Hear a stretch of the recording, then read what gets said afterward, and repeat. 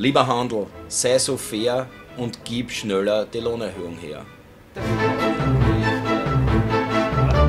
Unsere Mitarbeiterinnen und Mitarbeiter wollen einen gerechten Lohnabschluss.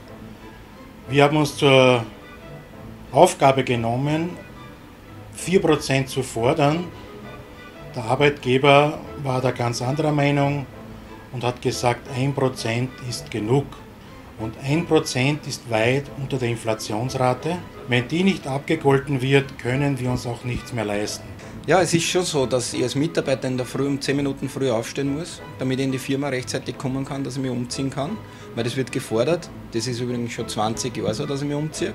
Ähm, nur jetzt ist es so, dass ich diese Zeit, dass ich einen Ausgleich kriegen muss. Und auch wenn ich später heimkomme, weil ich nachher wieder dusche und weil ich das Gewand wieder ausziehen muss, das ist Arbeitszeit, hat der oberste Gerichtshof festgestellt. Und ich bin ja nicht bei meiner Familie in der Zeit. Das heißt, auch wenn es nicht zusammenbringt bei den Verhandlungen, dass man Geld dafür gibt, gibt es mir einen Ausgleich dafür.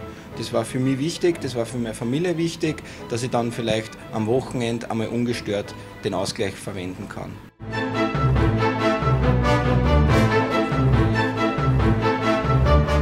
Es gibt viele Probleme, die wir zu behandeln haben. Nicht nur die Klimakrise oder die Energiekrise, sondern auch die Problematik der Arbeit und Arbeiterinnen.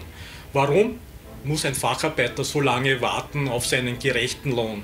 Warum müssen ganz einfach die Untersten immer weniger bekommen als diejenigen, die oben sind?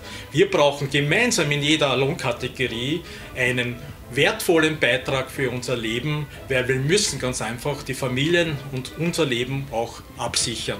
Unsere lieben Kolleginnen und Kollegen mühen sich ab, sind tagtäglich pünktlich, müssen sich einer Zeit unterziehen, die sie bis jetzt noch nicht bezahlt bekommen haben.